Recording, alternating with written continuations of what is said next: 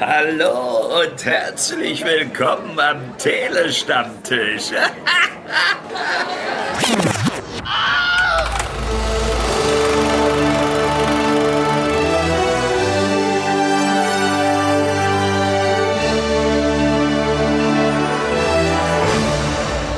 Im Horrorgenre gibt es ja ein gewisses Genre um ja, fiese Kinder. Ich weiß gar nicht, gibt es da einen Begriff im Amerikanischen wahrscheinlich schon? Äh, wir haben ja auch letztes Jahr unter anderem Orphan First Kill besprochen und in eine ähnliche Richtung gehen könnte vielleicht auch Megan, wo das Ganze aber noch kombiniert wird mit äh, aktuellen Themen wie künstlicher Intelligenz.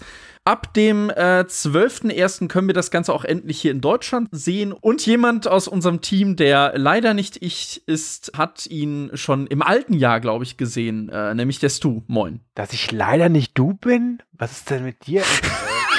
ganz verquert. Also hallo zusammen. Ja, ich bin's du, ich bin nicht Dom und ich persönlich finde das gut so. Ja, es, es geht um KI, das passt doch hier wunderbar. Ja. äh, wir wissen eh nicht, ob, äh, also wofür, wofür steht eigentlich Stu? Habe ich mich schon immer gefragt. Äh, super tolle Unterhaltungseinheit. Oh, das Kam schneller das als gedacht, war Improv ne? at its best. Ja. Das, das hast du dir zurechtgelegt. Ach, voll aber bevor wir mit der Besprechung anfangen, äh, tut mir leid, aber das würde mich interessieren, ja. wie kommst du darauf oder warum assoziierst du damit Orphan oder Orphan First Kill mit Megan? Das würde mich interessieren. Also es, Orphan gehört ja äh, so, sag ich mal, ja, zum Jub-Genre. Jub, Jub, Jub, Sub, Jub, Jub, Sub-Genre, Sub-Genre fiese Kinder. Und ich habe den Eindruck, dass Megan da auch reinschlägt und das Ganze einfach kombiniert mit KI. Ja, okay. Jetzt, jetzt verstehe ich, woher, wo die Wurzel deiner Interpretation ist. Okay. Ja. Es ist mehr so Chucky oder was? Tatsächlich richtig es gab ja vor ein paar Jahren Child's Play, auch bekannt als das Chucky Remake. Mhm. Und wer das gesehen hat, weiß ja, dass es da kein böser Zauber war, der dazu geführt hat, dass die äh, Puppe mörderisch wurde, sondern eine ja, falsch programmierte künstliche Intelligenz. Und im Prinzip ist das jetzt auch bei Megan der Fall. Es geht um die Robotikexpertin Gemma, die arbeitet bei einer großen äh, Spielzeugfirma und die wird von heute auf Nacht zum Vormund ihrer Nichte, äh, da die Eltern beim Autounfall äh, tödlich verunfallt sind. Und weil Gemma jetzt nicht so der mütterliche Typ ist, versucht sie halt irgendwie die, ihre Nichte zu beschäftigen und zum Glück arbeitet sie, ja bei einer Spielzeugfirma und sie hat da ein Projekt, nämlich Megan. Das ist eine lebensechte Puppe, die dazulernen soll. Und ihre Nichte bekommt dann so eine Megan. Und tatsächlich, sie und Megan werden beste Freunde. Leider, ähnlich wie beim Chucky Remake, ist es dann so, dass Megan ihre Freundschaft ein bisschen zu ernst nimmt. Und wahrscheinlich dann auch so ihren Beschützerinstinkt, ne? Ja. Wie das so der, der Trailer erahnen ließ. Wer übrigens nach dem Film googeln äh, möchte, muss ein bisschen tricksen, denn das Ganze wird, glaube ich, mit doch mit M3GAN geschrieben, ne? Soweit ich weiß. Ja, Megan ist eine Abkürzung Modell 3 von Schieß mich tot. Das wird auch im Film gesagt, aber letztlich, äh, ja, ist es halt einfach so ein, ein, Titel, der auch ins Auge sticht, wenn man in der Kinokasse steht oder vom DVD-Regal, dann fällt das schon, glaube ich, auf, so ein Titel. Okay. Es ist ja so ein Film, auf den doch so einige Leute warten, habe ich das Gefühl. Ja, er, weil sie noch nicht gesehen äh, haben. Zwar äh, nicht. Ja. genau, ja, danke. Äh, er ist äh, ja nicht äh, von James Wan, also dem äh, Schöpfer hier von Insidious oder auch Conjuring oder jetzt zuletzt auch Aquaman, also nicht Schöpfer, aber Regie. Und seiner Co-Autorin, wie ich tatsächlich erfahren habe, Akela Cooper geschrieben. Äh, aber wie gesagt, nicht unter der Regie von James Wan. Äh, was hat dich denn so jetzt an dem gereizt? Willst du darauf eine ehrliche Antwort haben? Weil du, du bist ja kein James Wan-Fan, das weiß ich. Also ich mag seinen Aquaman tatsächlich sehr gerne und äh, Malignant hat auch so ein paar echt krasse, coole Momente. Mhm. Aber ja, im Grunde bin ich kein so großer James Wan-Film, wenn er Horror inszeniert. Der macht aber nicht die Art von Horror, die ich, äh, die mir zusagt. Der Grund, warum ich ihn geguckt habe, ist, ich habe den Debütfilm des Regisseurs, Gerard Johnstone heißt der, gesehen. Der heißt Housebound, den fand ich sehr gut. Da hat er Horror mit Komödie sehr effektiv gemischt. Mhm. Und ich hatte den Eindruck nach dem Trailer, dass auch Megan sich nicht ganz so ernst nimmt. Und deswegen dachte ich mir, komm, schaue ich mir den Film mal an. Ich bin ja auch immer bereit, äh, irgendwie meine Vorurteile beiseite zu legen. Und ja, war nix. Das wundert mich jetzt schon, weil in den USA ist ja bereits das Embargo dafür gefallen, hier in Deutschland ja noch nicht, deshalb nehmen wir das Ganze jetzt auch schon auf. Äh, und da sind die Reaktionen eigentlich ziemlich positiv. Warum kannst du da nicht so mitziehen? Ich war tatsächlich auch ein bisschen, ja, fast schon irritiert. Ich habe ihn äh, kurz vor Weihnachten schon sehen können äh, im Kino und äh, dann kamen so die Kritiken aus den USA raus, die teilweise sehr positiv waren und das ist auch kein furchtbarer Film. Ne? Das ist jetzt kein Film, wo man sich wirklich mm. tot ärgert, wenn man den guckt. Aber ich war eher etwas enttäuscht und ich weiß auch nicht, äh, woran es liegt. Ähm, ich habe auch so im Vorfeld so gehört, dass ich nicht der Einzige bin, der nicht so viel mit dem Film anfangen konnte. Aber ja, ich war ist, für mich ist es eher eine Enttäuschung, weil es ist einer dieser Filme, wo man sieht, so die Zutaten wären alle da. Aber was halt daraus gekocht wird, ist ein Süppchen, dem die Würze fehlt, sag ich mal. Äh, wir haben ja, habe ich ja schon darauf verwiesen, letztes Jahr äh, Orphan First Kill besprochen. Und der war ja eigentlich eher, ja, also der, der war jetzt nichts Weltbewegendes oder was, aber der war deutlich besser, als wir erwartet hatten, wenn ich mich erinnere. Hm. Und hier ist es genau umgekehrt. Wo, wo liegen da so für dich die, die Grundprobleme? Du meintest ja schon zu wenig Würzer, also hätte der an einigen Stellen noch weitergehen können oder äh, ist er von nichts? Also, ich meine, er versucht ja zwei Elemente zu mischen, hatte ich ja schon gesagt. Und kriegt er das vielleicht nicht so zusammen oder was ist da los? Ähm, fangen wir erstmal mit dem, mit dem größten Kritikpunkt an. Es ist ein Horrorfilm, aber ein Horrorfilm, den ich nie, zu keiner Zeit, auch nur ansatzweise spannend fand. Da oh. war gar nichts. Mhm. Du hast natürlich so die obligatorischen Jumpscares, äh, aber auch nicht so viele. Also für James Wan-Verhältnisse ist es sogar sehr gemäßigt, muss ich sagen. Aber der Film hat einfach für mich keine Spannungskurve, gar nicht. Der, der, also du, du weißt, was passieren wird, obwohl du äh, die Geschichte nicht kennst, mhm. quasi. Was nicht so schlimm wäre, weil ich meine, da kommt halt so ein lebensechter Roboter ins Haus und wir können uns alle schnecken, was dann passieren wird. Ähm, aber das ist alles so überraschungsarm. Und jetzt kommt der zweite Kritikpunkt. Und ich weiß, ich werde jetzt wahrscheinlich klingen wie so ein Gorehound. Der Film hat in den USA ein PG-13 und die FSK hat ihm eine 16er Freigabe gegeben. Der Film ist echt relativ harmlos. Es gibt mhm. eins, zwei kleinere Spitzen und da lässt sich ja ahnen, dass man da vielleicht echt was hätte in der Hand gehabt, dass es etwas spaßiger wird, aber das ist so ein inspirationsloses, fantasieloses und auch blutloses äh, einerlei, was da abgeliefert wird.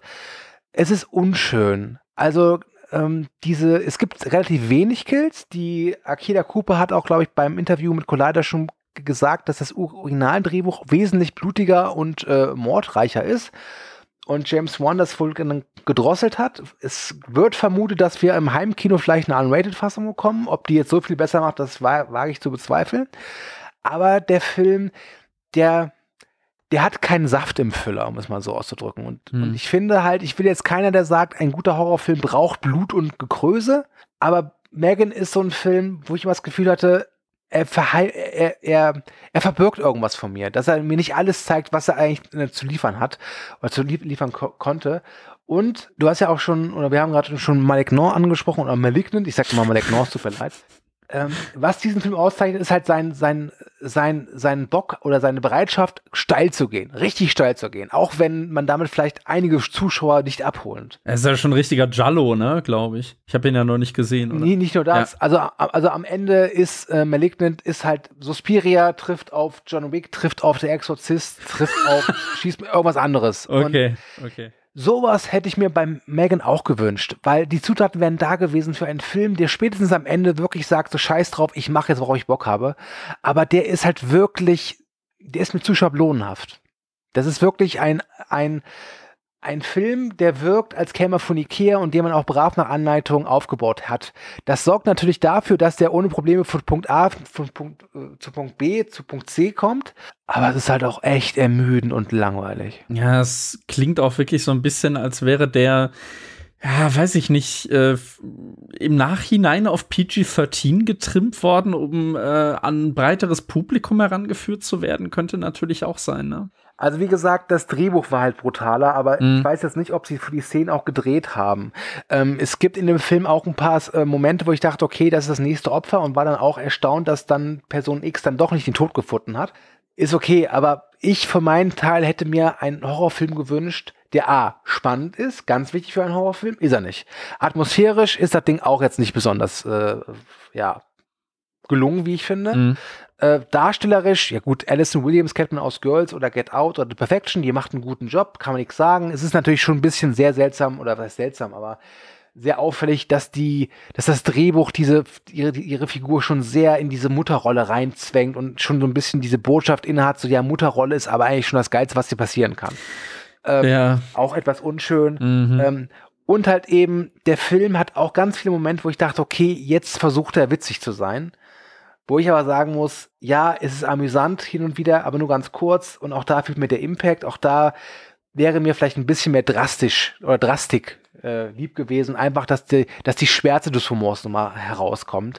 Ähm, so ist für mich Megan einfach gescheitert tatsächlich. Ähm, mhm. ich, wie gesagt, ich, ich kann nicht so ganz nachvollziehen, woher dieser überwiegend positive Tonus der US-Kritiken herkommt. Ich für meinen Teil fand, dass der Film von außen betrachtet wirklich äh, gut ist und Spaß verspricht, aber ich hatte da wirklich sehr, sehr wenig Freude mit. Also ich kann hier tatsächlich mal auf eine US-Kritik verweisen vom Collider, wo es heißt, äh, Megan might just become the malignant of äh, 2023. Nein, nein. Also, also das ist zum Beispiel, na? ganz ehrlich, dann, ja. dann ha hat der oder die Autorin Malignant nicht gesehen. Es tut mir wirklich leid, aber äh, das, das, das, Malignant ist halt eine ganz andere Klasse von Wahnsinn. Megan ist kein Wahnsinn. Megan gibt vor von außen, dass da jetzt was Wahnsinniges auf uns zukommt, aber letztlich ist selbst das Child's Play Remake wahnsinniger als, als Megan. Megan ist wirklich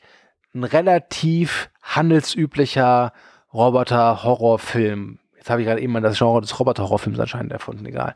Ähm, da ist nichts dran, was es, was es nicht schon vorgegeben hat. Ja. Ähm, meine Empfehlung, guckt euch lieber das Chucky-Remake an. Das ist auch nicht perfekt, aber das hat zumindest wirklich noch Momente, die in Erinnerung bleiben. Davon hat Megan halt einfach gar nichts. Ähm, oder aber Wes Cravens, mein tödlicher Freund, wäre auch eine schöne Alternative. Ja, das Chucky Remake hat ja zumindest äh, akustisch immerhin Mark Hamill, ne? weil du jetzt gerade wirklich auch meintest, der Film ist für dich gescheitert, also dann auch, äh, weil du hattest ja doch ein bisschen Hoffnung auch in Richtung schwarze Comedy, was so äh, die Regie angeht, scheint das dann vielleicht auch nicht so gebändigt bekommen zu haben oder vielleicht auch in eine Richtung. Ähm, für mich klingt es aber auch so ein bisschen so, also ich meine, diese Idee, äh, äh, irgendwie äh, fiese Kinder mit, mit KI zu kombinieren, ist ja vielleicht gar nicht mal verkehrt.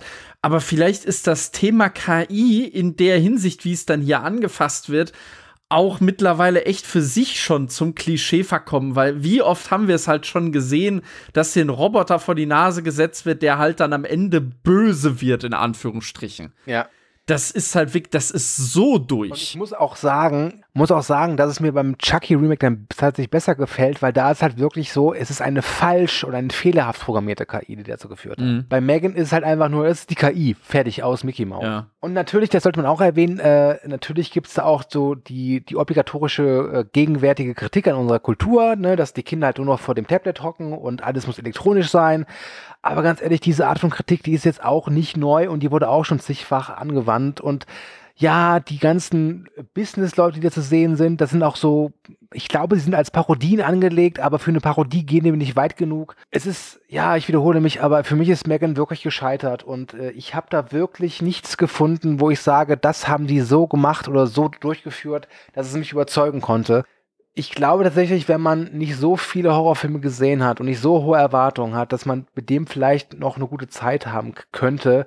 Aber ich für meinen Teil, meine Erwartungen wurden nicht erfüllt. Die wurden sogar eher ordentlich unter, nicht unterwandert, aber untergraben. Ich mhm. kam aus dem Film raus und war so ein bisschen, nicht fassungslos, aber schon so ein bisschen so, ja, ich, ich hatte jetzt erwartet, dass ich jetzt irgendwas bekomme, entweder was ich total kacke finde, weil ich einfach keinen Zugang dazu finde. Mhm. Oder aber, was ich total famos finde, weil es mich äh, überrascht hat, weil es mich unterhält.